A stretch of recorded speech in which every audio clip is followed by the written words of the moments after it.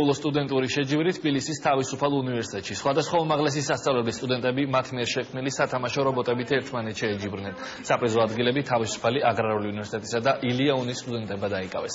მსგავსი შეჯიბრი საქართველოში პირველად ჩატარდა და ამიერიდან ყოველწლიურად გაიმართება.